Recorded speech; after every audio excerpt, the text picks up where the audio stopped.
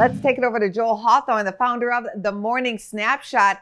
And Joel, you're taking a look at one of the hot meme stocks. The Reddit traders have been all over Clover Health. Do we know why that stock happens to be a stock of the moment? And what do you think about the trading there? Uh, this is definitely one, Angie, that I think has been uh, really kind of just jumped off the headlines as of late.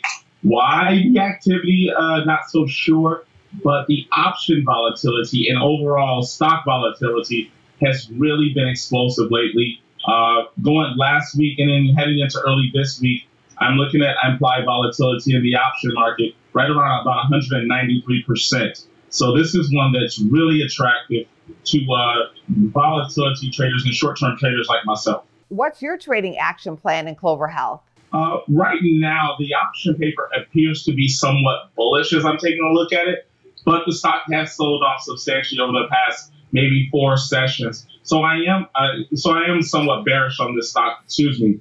Um, right now, I'm looking to possibly fill the gap by potentially this stock breaking uh, below maybe like the, the lower 14 levels, maybe possibly trading down to 12.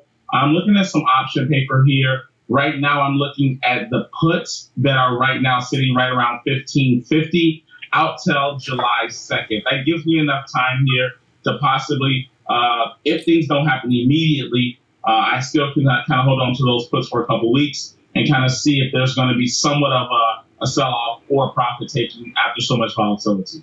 Thank you for your trade, Joel. Thanks for having me.